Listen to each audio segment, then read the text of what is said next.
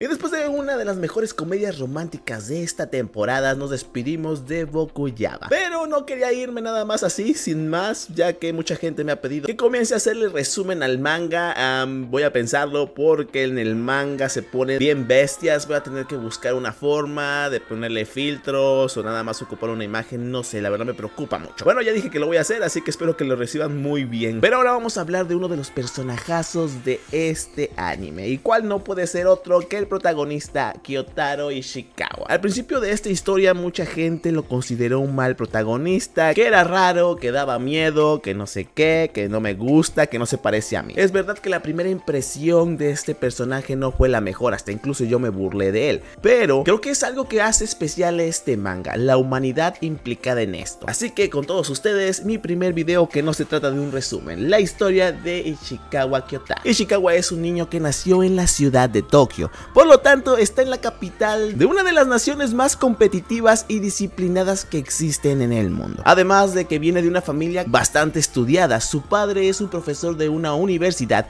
y su hermana es estudiante de la Universidad de Tokio, quizás la mejor universidad del país. ¿Por qué les estoy diciendo esto? Porque en una familia donde la mejor habilidad que se tiene es el conocimiento, es obvio que se espera lo mismo de Ishikawa. Y al principio así fue, desde la primaria este niño logró destacar en la elaboración de ensayos y carteles. En pocas palabras, el niño tenía talento para el estudio y los resultados ahí estaban. Ganaba premio tras premio gracias a esos ensayos y carteles que hacía. Obviamente, el chavito se sentía sumamente superior a sus compañeros. Así que una sorpresa de que el chavo no tuviera muchos amigos no era. De hecho, las únicas personas que consideraba sus amigos eran los que eran igual de inteligentes que él. Pareciera que todo le iba a salir bien al pobre de Kyotaro. Lastimosamente, se acabó la primaria y este tenía que entrar la secundaria, obviamente no se iba a quedar con una escuela pública, tenía que ganarse su derecho a entrar a una escuela particular. Y es aquí donde Ishikawa recibe uno de los primeros golpes que le dará la vida, saber que no fue suficiente para entrar a esa escuela. Desconozco qué fue lo que pasó, quizás perdido en su orgullo y en esa sensación de superioridad no se preparó lo suficiente, cualquiera que fuese el resultado, esto devastó al pobre Ishikawa, no solamente no entró a la secundaria que quería, sino que sus únicos amigos lograron hacerlo. Esto devastó al niño tanto que prefirió cortar toda comunicación con sus antiguos compañeros. Lastimosamente, el tiempo no puede detenerse y Kyotaro tiene que continuar con su vida. Así que tiene que entrar a una secundaria pública, la número 46 de la ciudad de Tokio. Aún con las heridas bastante recientes, el niño prefiere no asistir a la escuela, inventa pretextos y por lo mismo tampoco le gusta participar en las actividades escolares. Quizás porque se sentía más que los compañeros o quizás por la propia inferioridad que ganó después de saber que todo lo que era se acaba de desmoronar. ¿Y qué hace un niño que está afectado mentalmente, que no tiene esa seguridad ni autoestima para enfrentar la realidad? Pues se hunde en cualquier tipo de afición. Para algunos será el deporte, para algunos será las caricaturas, los videojuegos. Para él fue la lectura. Lastimosamente escogió una lectura poco popular y eso también le juega en contra al pobre de Chicago, ya que un día cuando estaba leyendo un libro sobre asesinatos, sus compañeros de clase, quienes intentaban establecer una amistad con él, se dieron cuenta de las cosas que le gustaban y preferían salir huyendo. Esto bastó para que el pequeño Ishikawa diseñara una especie de coraza, un lugar donde pudiera sentirse cómodo al ir a la escuela y obviamente sentirse superior a los demás. Y eso fue sintiéndose alguien peligroso. La lectura que alejaba a las personas para que él se sintiera mejor también le estaba permitiendo diseñar una segunda personalidad, o más o menos. Llega el segundo año nuevos compañeros y se topa con la realidad. Esa que ninguno de nosotros seremos capaces de escapar en la medida que vamos creciendo. Nos topamos con la pubertad. Las pláticas de niños, de juegos y de juguetes se cambian hablando ya de sus compañeras y cosas más subiditas de tono. Y para acabarla de amolar también estaba una de las chicas más guapas de la escuela, Ana Yamada. ¿Y cómo se enfrenta a esta nueva realidad? Pues para Kyotaro encerrándose aún más en esa coraza. Es por eso que en el primer capítulo podemos ver que se obsesiona cada vez más con esa lectura, imaginando que acaba con sus compañeros, los cuales solamente hablan de cosas pervertidas. Pero también va tras esa compañera esa que refleja todo lo que Kyotaro no es. Ana es una persona brillante, con muchos amigos, súper popular, hermosa y hasta incluso una modelo. Una modelo con tan solo 14 años de edad. Y eso sumándole a que también las hormonas están participando en el proceso. Aunque él no lo quiera reconocer, le atrae llamada como cualquier niño del salón. Pero en lugar de aceptarlo, prefiere sumergirse más en esos pensamientos negativos. Pero afortunadamente, Kyotaro no es una mala persona, no está esa naturaleza asesina como él cree en su corazón. Es verdad que he escuchado que muchas personas dicen que el chico era raro y que no entendía la razón por la cual quería acabar con la vida de su compañera. Pero es que jamás fue su intención. Todo lo que decía o todo lo que escuchábamos en el anime era simplemente parte de su coraza. Aquello que le convencía que él era especial y por ese miedo tan grande que le tenían no se le acercaban. ¿Quién diría que el destino le jugaría a su favor y un día donde él escapaba de ese ruido que tanto odiaba, escondiéndose en su lectura en la biblioteca, se toparía con la mismísima Ana Yamada. Gracias a este primer encuentro podemos darnos cuenta de una cosa. En primer lugar, Yamada no era la chica hermosa, brillante y que todo le salía bien. La primera visión de esta chica es de una persona muy infantil, juguetona, comelona, una niña en pocas palabras. Y por otro lado podemos ver la naturaleza real de Ishikawa, un pinche sim, no, no O más o menos, la verdad que las primeras impresiones cuando este le entrega su cúter a llamada para que no haga un cagadero con su exposición y el hecho de que ya se estaba enamorando con simplemente verla, la verdad lo deja un poco como un sim. Afortunadamente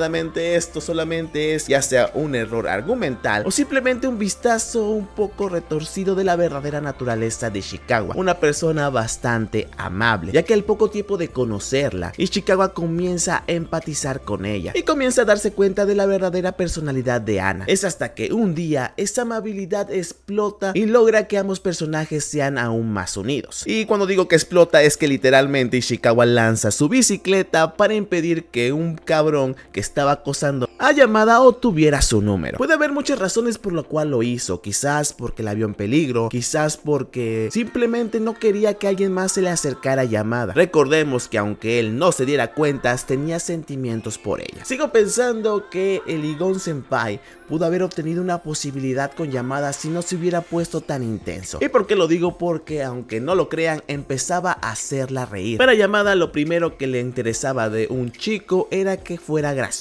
Pero quizás esto sea para otro video. Lo que sí podemos ver es que después de hacer esta hazaña, tanto llamada como sus demás compañeros decidieron ayudar al chico. Cuando esta le pregunta qué fue lo que pasó, por qué su bici salió volando, este no puede contestar otra cosa más que decir que se equivocó de pedal. Al escuchar esto, llamada entra en carcajadas y por primera vez comienza a notar a su compañera. De aquí en adelante Ishikawa se vuelve su compinche en algunas aventuras, como ayudarla a ocultar los dulces que se comía en la biblioteca, ayudarla a de Kobayashi cuando ésta lo estaba buscando, pero cuando se vuelve a notar esa actitud de buena persona por parte de Ishikawa es cuando se echa la culpa de un malentendido para salvar a Hara-san, una compañera que apenas tenía cercanía, de que fuera odiada por todo el grupo. Afortunadamente esta aclaró el malentendido y Yamada también se dio cuenta de esta actitud, por lo tanto se vuelven cada vez más cercanos. Pero para Ishikawa todas estas aptitudes no concordaban con el modelo que tenía de sí mismo, así que su único resultado es que siente que algo está mal dentro de él,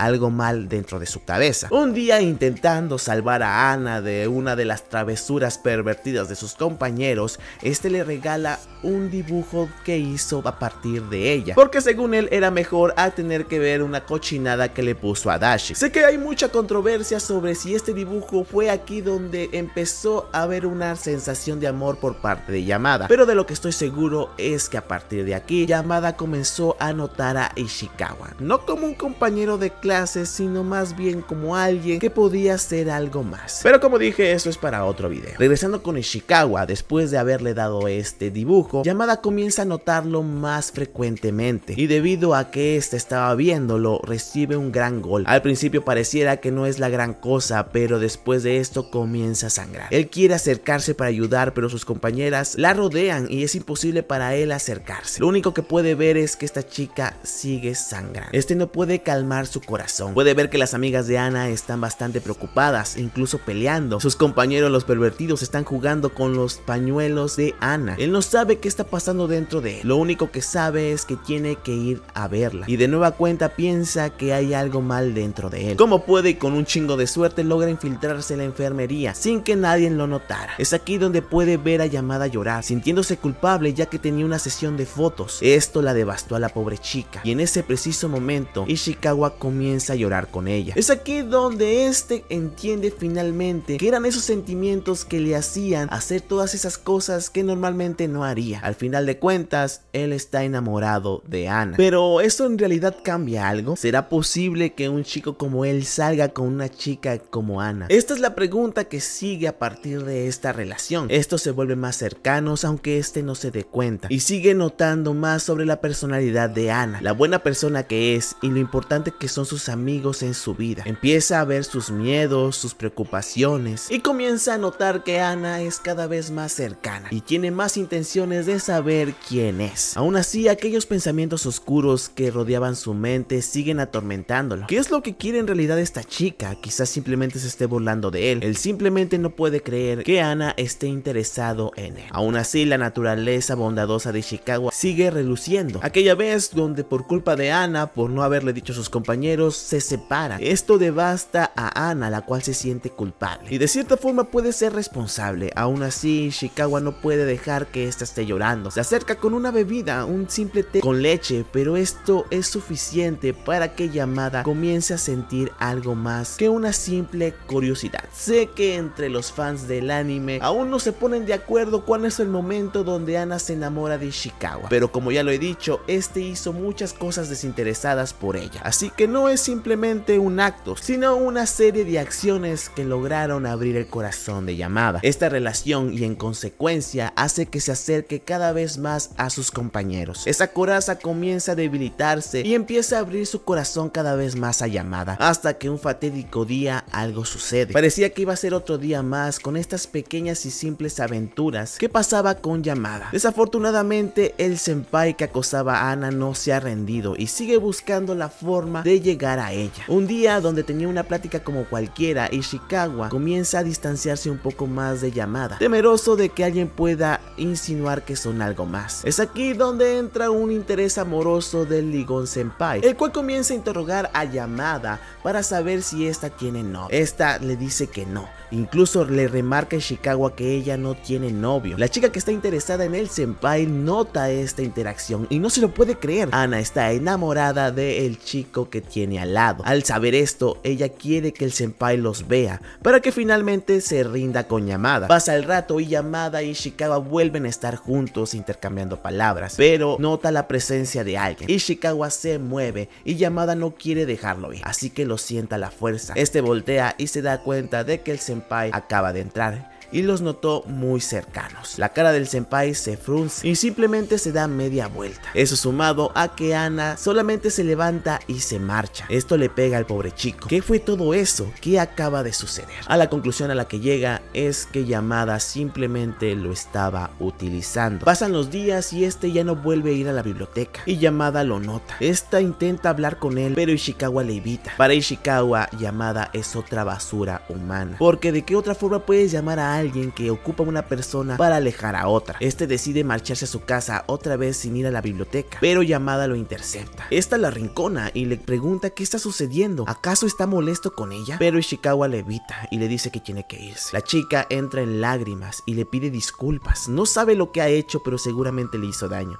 Es aquí donde todo lo que han vivido cobra sentido. Él conoce a Yamada sabe que jamás haría algo como eso. Él sabe que Yamada aprecia a toda la gente que tiene cerca. La razón por la cual estaba tan enojado no era porque malentendiera la situación, es que buscaba desesperadamente algo que le hiciera que lo odiara. Es aquí donde tomo una de las frases que más me ha llegado de esta obra. Si algo que quieres es imposible, mejor déjalo antes de que te haga daño. Ishikawa no es que no se diera cuenta toda la interacción que ha tenido con Yamada, es que se rehusaba a creer que algo como eso fuera posible porque en el momento en el que llegara a perderlo, esto lo devastaría. Pero al verla llorar, entiende que el único culpable de esta situación es él. Este se acerca y le pide disculpas. Le dice que tenía que salir a hacer algunas cosas después de clases. Yamada le pregunta si en verdad no está molesto. Él le dice que no y Yamada no se contiene y lo abraza. Rápidamente este lo suelta y le dice que ya sabe que no le gusta que se acerque. Pero él dice que no es así, jamás se lo ha dicho. Así que se van a un rincón para poderse dar ese abrazo que tanto necesitaba. De aquí en adelante le siguen sucediendo cosas buenas a Ishikawa. Sale con Yamada a una cita, se la pasan hablando por las noches, incluso se lastimó pensando en ella. Pero en qué creer, en realidad puede suceder algo maravilloso como que él y Yamada sean una pareja. O quizás simplemente esté malentendiendo la forma de ser de Yamada. Llega el fin de año y este va por una bebida y se topa de nueva cuenta con Ligon Senpai y le invita a que se tome algo con él. También nota que está Moeko, una de las grandes amigas de Yamada. Y también está el sim de Senpai. La única razón por la cual le invitó a tomar algo es porque quería saber si él tenía el número de llamada. Ishikawa como puede le niega esa información, pero recibe un mensaje de llamada. Y aquí voy a basarme solamente en el anime, ya que siento que adaptaron esa parte mucho mejor que como fue con el manga, ya que se puede explorar ese lado asqueroso de este senpai. A pesar de que tiene a alguien que quiere con él y que lleva bastante tiempo siguiéndolo, este no le interesa. Hasta incluso le manda que vaya por un café. Todo con la intención de que ni Moeko ni ella intervengan cuando este le quite el número a Ichikawa. Este trata de negociar con él. Le dice que no hay problema, que sabe que está en una situación peligrosa. Pero si se lo da, no le dirá a nadie, ni siquiera a sus amigas. ¿Cómo es que lo optó? Aún así, Ishikawa se lo niega. Cuando el senpai le pregunta el motivo, él simplemente dice que no tiene ningún motivo. Simplemente no quiere darse. Cualquiera diría que aquí ya valió madre. Seguramente iba a intimidarlo o amenazarlo para que se lo diera. Afortunadamente aparece Moeko y se lo lleva, diciéndole que es su amigo. Ya de camino a casa de una de sus amigas donde van a tener una pijamada, este comienza a jugar con él, diciéndole que es un pésimo mentiroso. Ishikawa dice que posiblemente el senpai malentendió las cosas, aunque Moeko no puede creer que lo que está diciendo. Así que se acerca, le toma la mano y dice, bueno, si está malentendiendo las cosas, me imagino que no hay ningún problema con que te agarre la mano. Este rápidamente se la quita y le dice que no, que lo que realmente quiere decir es que está enamorado de Yamada. Finalmente puede decírselo a alguien y en voz alta. Y es aquí donde gana fuerzas para poder confesársele a Yamada. Este le marca por teléfono y cuando quería decírselo se cohíbe. Simplemente le desea feliz año nuevo. A partir de aquí la relación de Yamada continúa haciéndose más cercana. Un día cuando estos se encontraron visitando el templo, la hermana de Chicago invita a Yamada a darse una vuelta a su casa. Pero a la hermana le surge un imprevisto, por lo tanto se tiene que ir. Es aquí donde Yamada puede conocer más sobre Chicago. Esta entra a su habitación y comienza a ver su anuario y nota que se junta mucho con dos personas en específico. Les pregunta quiénes son y Shikawa le menciona que eran amigos suyos, pero estos entraron a una escuela privada. Yamada le pregunta si sigue reuniéndose con ellos, pero este dice que no. También intenta preguntarle si hizo examen para entrar a una escuela secundaria privada, pero al ver la cara de Shikawa prefiere no hacer. Se acerca a sus premios y queda asombrada, pero también nota aquello que hizo que Shikawa se alejara de las personas, aquello que fue el principio de su coraza, el libro sobre asesinato Yamada le pregunta qué es, y este muy ambiguamente le dice que es la psicología y los actos de algunos asesinos. Ishikawa piensa que esto es el fin, aquí se dará cuenta la verdadera persona que es y se alejará. Pero Yamada se alegra, le interesa saber más sobre el tema. Le pregunta si es capaz de analizar su psicología, aunque Ishikawa dice que no, ya que ella no es una asesina. Pero esta sigue juguetona con él. Es aquí donde esta nota la revista que tenía de ella, pero Ishikawa la detiene, teniendo uno de los momentos más íntimos que tendrá la pareja en esta temporada. A pesar de que sabe que es incorrecto, este es incapaz de moverse. No es hasta que Yamada se lo quita de encima, cuando esto se separa. Ishikawa vuelve a pensar que la acaba de cagar, ya que de nueva cuenta esta se alejará. Pero no es así.